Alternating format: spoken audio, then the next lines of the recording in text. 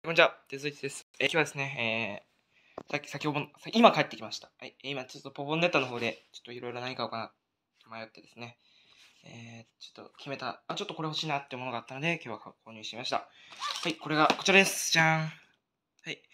これ加藤の E235 系1000番台横須賀総武快速線でございます。はい。えー、これはですね、最近になって多分あれなのかな、えー入荷したばっかりみたいな、その発売されてからそんな日にち経ってないと思うんですけども、ね、今回これを紹介したいと思います。はい。えーと、ちょっとね、造血を買おうと思ったんですね。えーとね、4両と3両と4両かな。それを買おうと思ったんですけども、ちょっと、はい。家にあの近くにあるポンデッタで、えー、その、買おうと思ったんですね。完売でした。残念ながら。はい。またね、時間がある時に遠いとこに行ってね、えー買いに行こうかなと思います。なので今日は、この4両を紹介したいと思います。はい。開け方失敗するかもね。ちょっと、やばい。めっちゃこれね、片手で開けるのむずい。よいしょ。はい。やばい、ちょっとここが破けそうになったけど。はい、えー、という感じで、ちょちょっとお待ちください。ちょっと三脚がねえから、ここ失礼します。はい。で、これ開けていきます。はい。はい。えー、とですね、中身は、こんな感じになってます。いつものね、あの僕が前山手線山手線買った時とまあ同じ感じかな。箱的には多分あの235系の山手線も出てるので、ぜひ皆さんも。今更買いに行って。あれっすね、山手線の235出たのが2018とかじゃなかったですね。まあそれと同じ同様、箱は一緒です。はい、では開けていきます。まずこのこのファイルみたいなで、はい、まず、えっと、アンテナですね。まあ信号変換とか、その辺のあれじゃないですかね。でもこれ、すごいね、この箱に入ってる電車っていいいいこと。235のね、いいところはですね、この買った時にも、あの、あれがついてるんですね、このアンテナが。信号変換とか。はい。はい。じゃあ1号車。はい、1号車。はい、1号車です。ピント側ね。1号車ですね。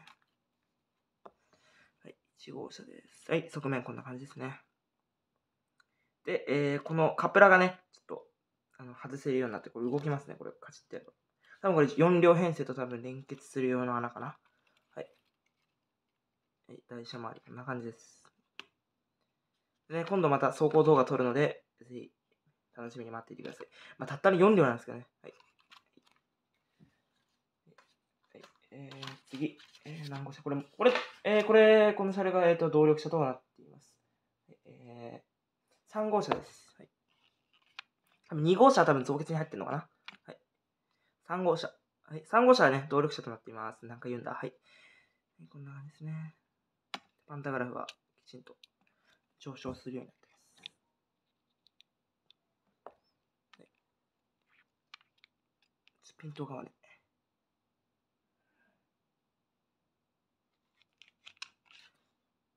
そうですね。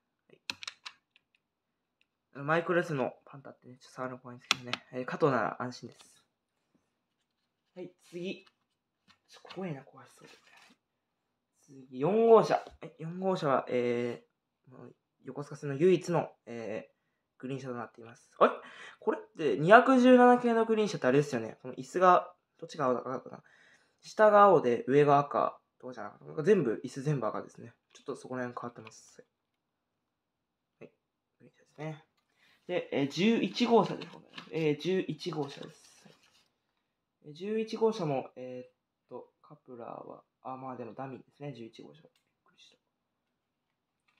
はい、11号車です。はい、こんな感じですね。はい、11号車。特にそんなに変わりはないですかね。あ、でもこれ、スカートがちょっと違うのかなあ、ちょっとスカート違いますね、ほら。えっと、この、こっちが、えっと、右側が連結する方の、で。左側はちょっと違います。右側がちょっと、あの、連結のその下のスカートが違いますね。継承っていうんですかね。はい。はい、てな感じで今日はね、235系横須賀線の紹介でしたね。はい。すんごいかっこいい。はい、えー、チャンネル登録と高評価してくれたら幸いでございます。はい。ではね、今日もご視聴ありがとうございました。さよなら。